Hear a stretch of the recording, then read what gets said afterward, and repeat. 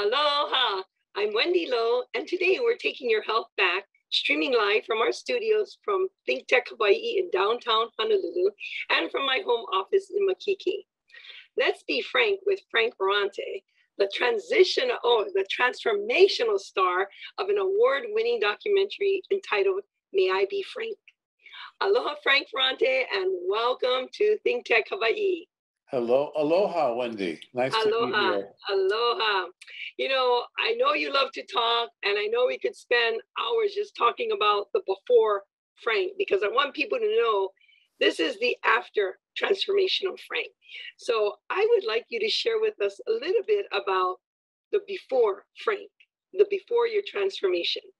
What were you like? Well, there it depends on how before we're talking about. If it's before before, um, um, I, I, guess not unlike most a lot not like most people people go through different phases in their lives. I mean mm-hmm. so my experience was just briefly uh, came i was born uh, uh, in new york city. Uh, my parents were immigrants.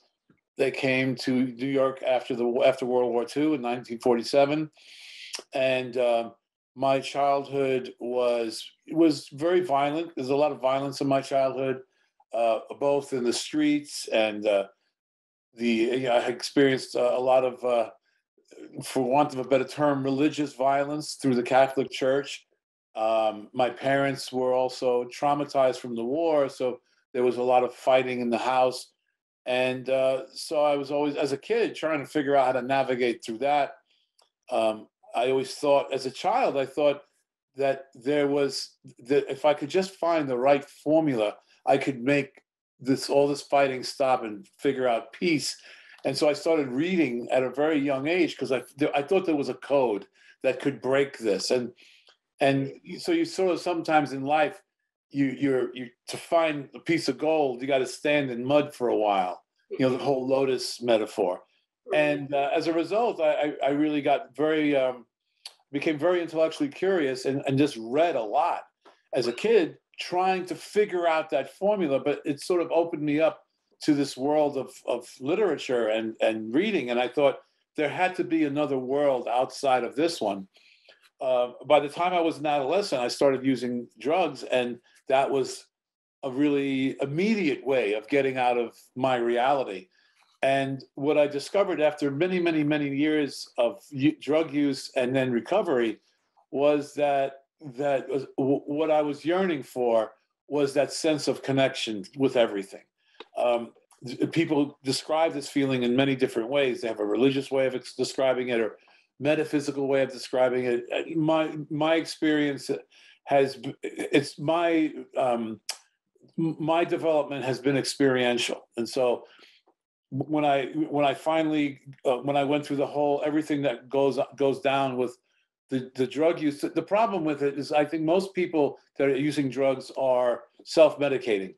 The, the, the problem with that is whatever trauma generated that that way of being gets compounded with the trauma of the lifestyle.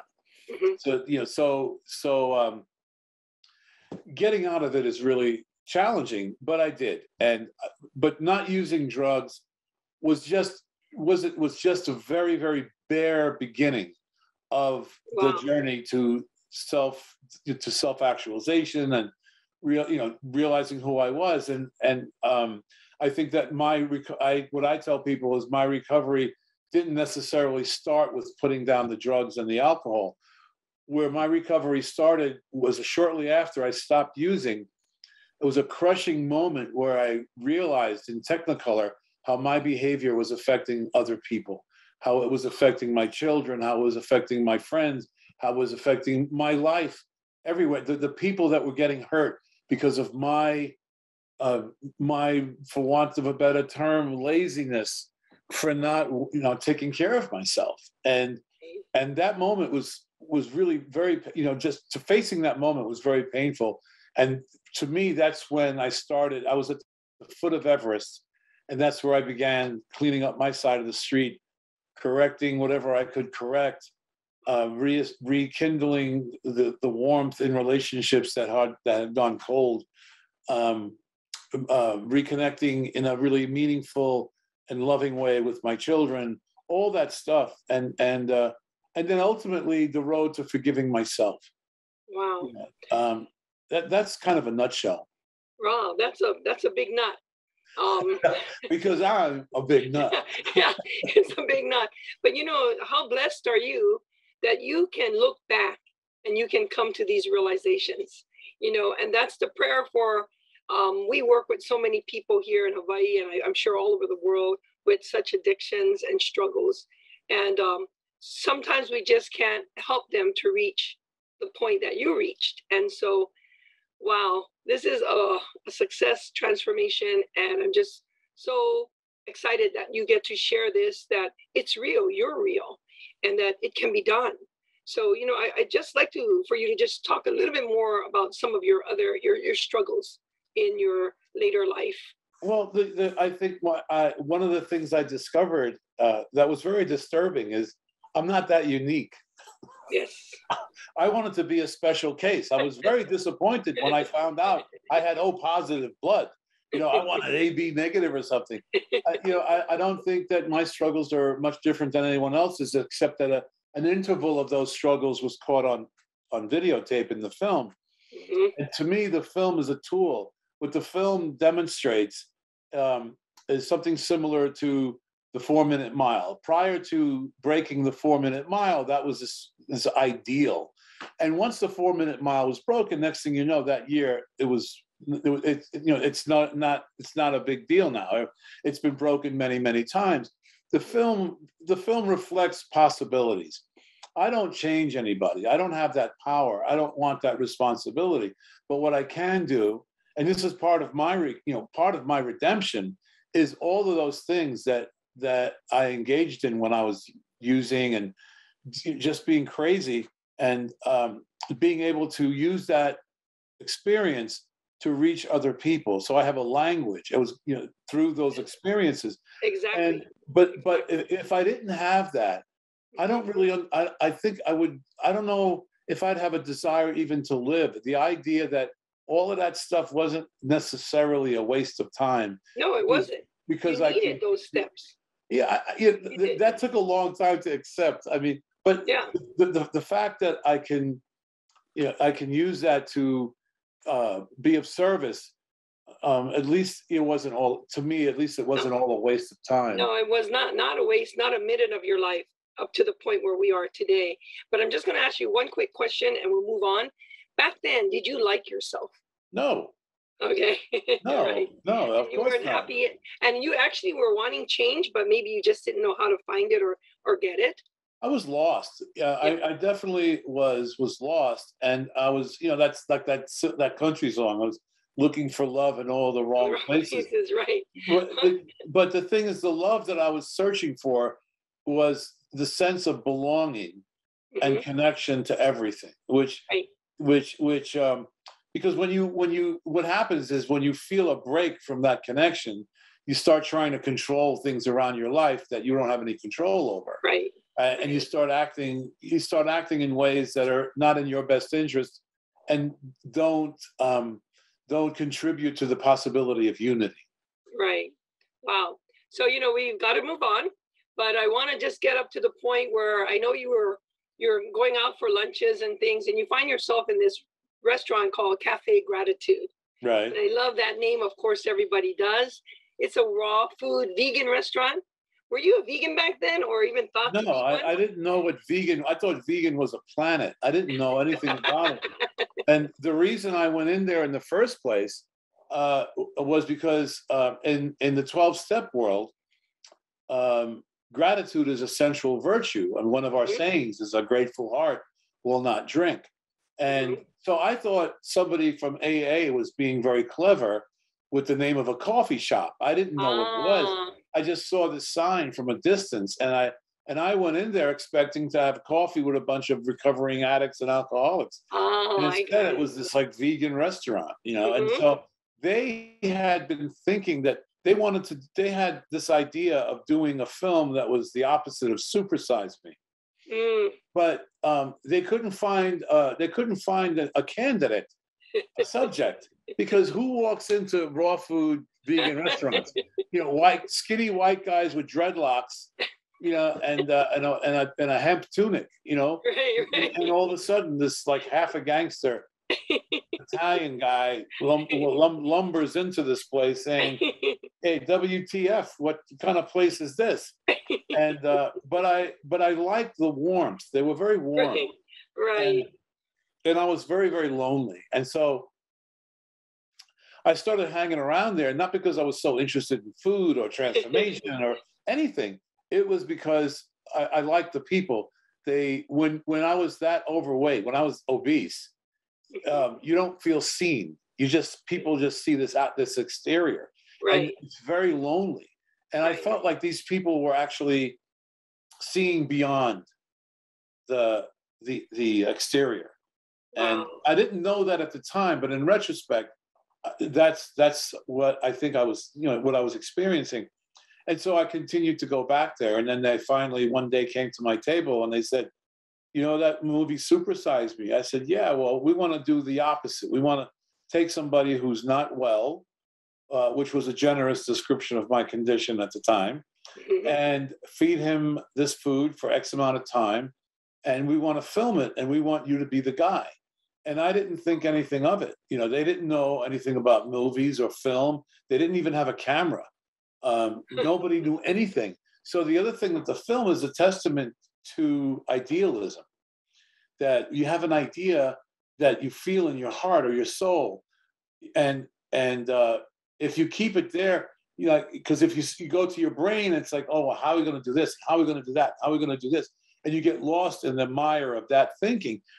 Well these guys were very young. They weren't neurotic like that. They just said wait we have an idea. We you know we can do this next thing you know things started falling into place they got a, ca- a camera fell out of the ceiling and you know and and, and uh, people showed up and And you know- before you knew it, you were a virtual reality. before i knew it these guys were following me with a camera all the time Oh my gosh. but it, you know it was it was one of those smaller you know small cameras with the little miniature cassette video tape. Right. Back in the day, right? yeah i mean the, the the microphone was we went to they went to home depot bought pvc pipe and taped duct tape a microphone at the end of that. I love it. I love it. Uh, So you you you talk story with them. They got you to film, and you commit to 42 days on their Right. program, and they're following you along this transformation like a reality show. That must have been hilarious for you. Well, yeah, I mean, I had we none of us had any idea of what we were doing, and and I normally never use this type of language, um, but it was divinely inspired, divinely guided and inspired because we didn't know what we were doing. We didn't have the vision that came about. That last film that's out now, there were a number of incarnations before it was before it was it was um, molded to that to that you know that sequence. Which, by the way, I re- I watched it again a couple of about a couple of years, maybe two years ago, and realized that we unwittingly put the twelve steps together in order. The film is the Wow. 12 steps in, and nobody, I was the only guy in recovery. Nobody knew that. But I'm looking at it, and here's this guy. He admits he's got a problem. You know, he admits his life is unmanageable. He believes there's a way out, but he doesn't see it. He turns his life and his will over to the care of these guys. Then he starts exploring his in, you know, internal life and you know goes through that difficulty. You know, then starts making a you know makes some makes some makes a list, makes amends, and then ultimately uh, the, going around the country and the world talking about you know doing service with the film. I mean, it's really quite amazing. You know, and all of it we none of us had you know we had very little money. I mean, right. I mean there was no no I mean no money at all, and so. So um, I understand that they followed you all over the place, and they put together this um, including this- the bathroom, yes. yeah that was the best part but um so they put together unbeknownst of anyone the 12 step program so that made it even more successful but when was the first time that you saw the documentary Well, the first time I saw it was it was in post. I mean, it was it was in a closet. The tapes were in a closet for at least two or three years because we didn't know how to edit. Um, and this guy shows up and he and he you know, he uh, from he moved from New York to San Francisco, and he met the three guys, my friend Greg Marks, and um, they told him there the years ago they had shot this film, and he said, "Well, can I take a look at it?" And they went to the closet and took out the shoebox and blew the dust off of it. And Greg took the tapes and he reviewed reviewed a, a number of tapes uh, that evening, and in the morning called us up crying, saying, "Do you guys have any idea of what you have here?" And we didn't. And so he says, "I'd like to commit to editing this film," and he Wow. put the music to it. He edited it along with my friend uh, uh, Jeff Lamont, um, who was a professional editor as well. And um, and then when the first time I saw it, I, I had never seen it before. They called me up and they said that where the film is ready, and I said, "What film?" I, I, I- had forgotten about it, you know, because it had been a couple of years. right. And when I saw it, I, I was fetal for two weeks. wow. I mean, imagine you probably have in your photo collection a photograph or two that when you look at it, you cringe, Right. but you keep it because there's somebody you love in it or something. Right. When you look at it, you think, "Oh my God, I look like I look terrible." Wow. Well, imagine that for 90 minutes in Technicolor with a sound and larger than life. and on the big screen, right, with other people watching. and and and you don't look like that or feel like that anymore. No, You and, and the thing is, you know, people say, "Well, you were very brave to do that." No, the film didn't take any courage. What took courage is exposing that. It. That's what took the courage because Wow. you know I didn't think anything of it when they were filming. There was nobody around. For sure, for sure. You know, and it doesn't surprise me that this documentary won or wins so many awards. So please tell us about winning the best documentary award. Well, I mean, in various film festivals, you know, uh, um, it, it was all bewildering to me. I mean, I, when I first started going around and and going on stage, I was in graduate school. I, I was I was working. I, I got got my I got my high school diploma when I was fifty, because I was a carpenter in my other life, and I hurt myself, and I thought, well, I I love history and geography, and and and I thought, well, I'll become a high school history teacher, and I at 50 years old got my high school diploma then i got my you know got my de- uh, degree in history from ucsb and then i went on for a graduate uh, degree in humanities in uh, san francisco state which is where i met the guys i was in graduate school going to be a history teacher instead Wow. i became a different kind of teacher Yeah. uh, and, Amazing. and uh, but but you know there I- there I was and standing in front of people that are looking at me like I know something, and I just felt like an imposter for the first couple of years. I thought I'd go back to my hotel room after a screening, thinking, sitting at the corner of my bed with my head in my hands, thinking, "Oh my God, they're going to find me out." And then no. then what do I do? I'll have to kill myself, you know. Oh, they found so- you out. This is so, not realizing, yeah, that they did, but you know, I, I just, you know, I didn't feel like I had a right to be on stage talking to people about the mind, body, spirit. No, to- you had every you know, right. to- You earned that right. You, Well, you but at the time, I it. at the time I didn't, and I had the imposter syndrome. you know? No, no. Hey, Frank, you know, we have a question from our viewer. Um, they want to know we all don't have a cafe gratitude in our neighborhood. Right. How does one get started to just even think to change your lifestyle and their eating habits? And what would you recommend? Well, the, the, the first thing when any whenever I talk to anybody, I, that you need you need to have an open mind, and you, you have to have willingness and an open mind.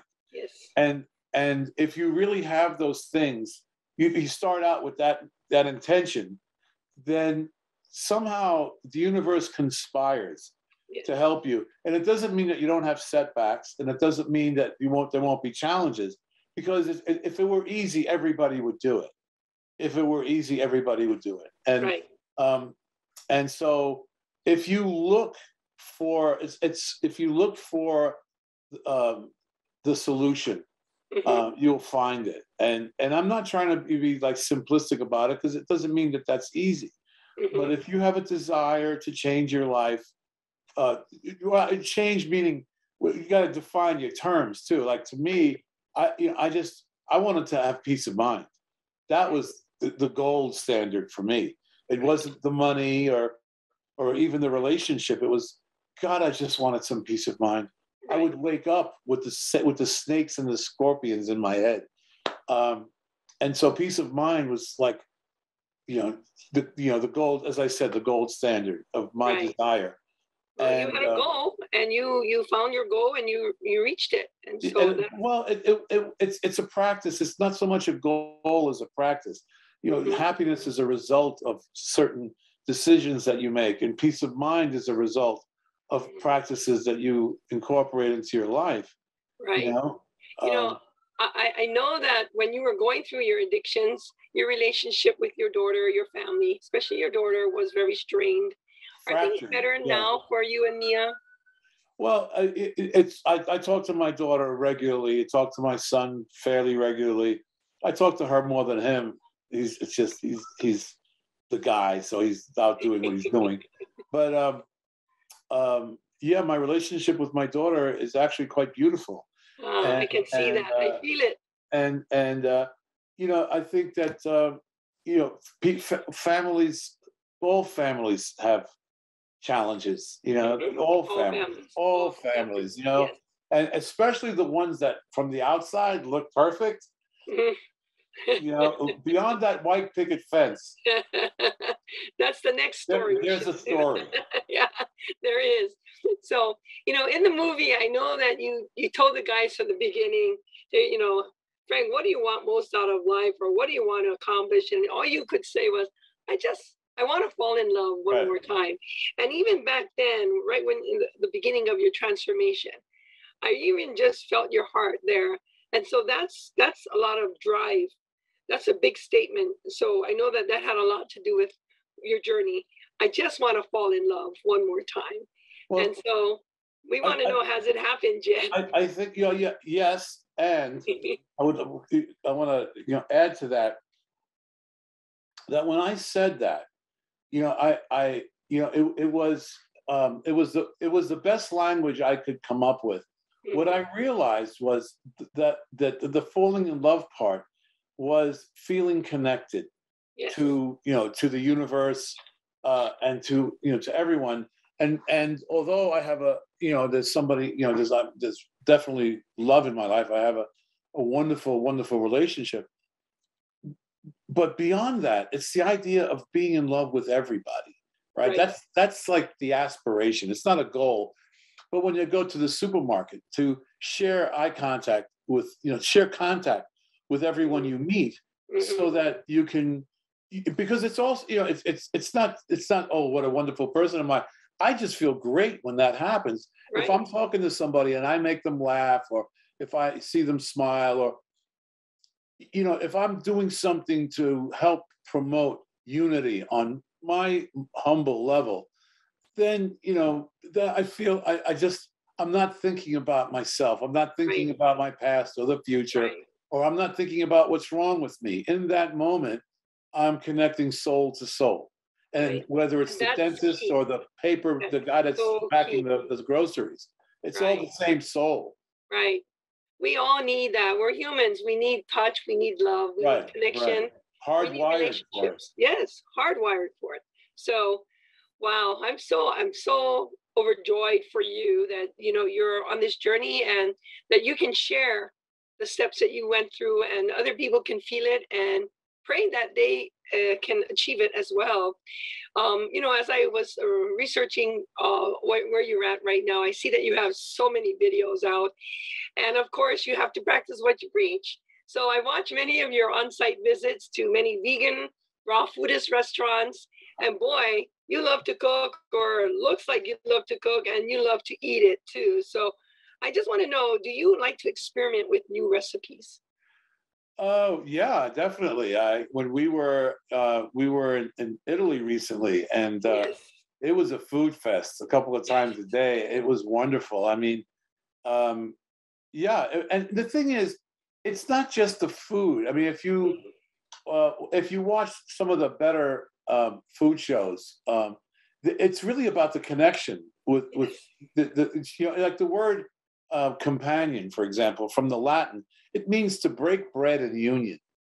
Um, and and you know when we break bread, it's, there's we have a there's a commonality that that uh, that's shared, especially if it's shared you know joyfully. And I I would have dinners in Italy. It was like old school stuff, like the whole family's there. And I know. It looks so great. Yeah. All these, all these people and talking yeah. about this and about that. And within the same evening, which mm. and those meals would take two, three, four hours. And For within sure. the conversations, there would be laughter, and sometimes somebody would start crying, reminiscing about something. And singing, a, yeah, yeah, and singing. There's a full range of uh, of uh, of emotions, and so the, it, there was a, a, a, there was a, a satisfaction that went down to like the molecular level. Like it wasn't just about eating. I mean, we're in right. this in our country, you know, we don't make room or time for that. This a half hour lunch. How vulgar oh. is that? Yeah, that's the right lunch. word. How vulgar is that? No, I mean, really, wow. how insensitive and vulgar. Ha- not to mention the all-you-can-eat restaurant. Oh, that's. I mean, yeah. what is that? You know, yeah, like, no. it reflects glutton a, for punishment, man, and then well, it's, it's it, reflects health. it reflects a, a, particular kind of or level right. of consciousness, right? You know, that's amazing, Frank. But you know, I know um, I know that you found a lot of you know family relationships and everything, and I also see that you found some time to to volunteer in your community. And I'm sure when I see your face, that brings you much joy. So just tell us about really quickly the vol- volunteerism in your community. At, at well, I, I, do a little bit of this and that, and um, I, I, recently um, last year started uh, hospice mm-hmm. um, volunteering, and partly what was what drove me to do that. I woke up one morning and realized that it was just a random thought that I realized, wow, I I was afraid of my own mortality. It was was bothering me. It was frightening me. And I and then the next thought was, well, okay, well, what do you do about it? Well, I guess you start working with dying people. And so, uh, you know, what I realized was uh, dying is safe. You know, it's safe. Dying is safe. Um, and and um, and I realized um, I'd like to. I know how I want to go. I, am just certain how I don't want to go. And right. fortunately, you know, while I have the capacity to make that choice, I will make it. And uh, right. uh, but um, uh, when you're working with when you're working with people that are that are in transition, you realize you're you're viewing a trailer, a preview of your own process, yes. right? You're wow. guaranteed that process, and so now I mean, because in our culture, in our society, we're really we're very much insulated from that. It used to be we're insulated from that experience. It used to be when people died, they would the wake would be in the house. Right. Actually, right. the that's how coffee the tables. whole process was at home. Right. And the family came together. Right. Exactly. Enjoy that experience, and right. I say enjoy that experience. Well, you share you know? that experience, and you share it, but right. you must enjoy it because it's just a cycle of life and what we need to do with our loved ones and share every moment, the last breath with them. Well, but yeah, I mean, the depth, you know, I, I don't know about enjoying, but the depth of the grief is directly proportional to the depth of the love. Right. And that's why exactly. people are afraid of jumping into the pool of love because of the fear of the grief. Right. But, you know, Frank, we've come to the end of our show. Oh, I'm okay. so sorry. So I know we have to leave it for there there for now, Frank. I know I want to have you back when we have time for you Anytime. and you have time for us. So you've been watching Think Tech Hawaii um, and taking your health back. Mahalo to Frank Ferrante for talking story with us and just being frank with us about addictions and his struggles as he finds love, which is aloha. So we want to say aloha to all of you for now and mahalo to Frank. Aloha.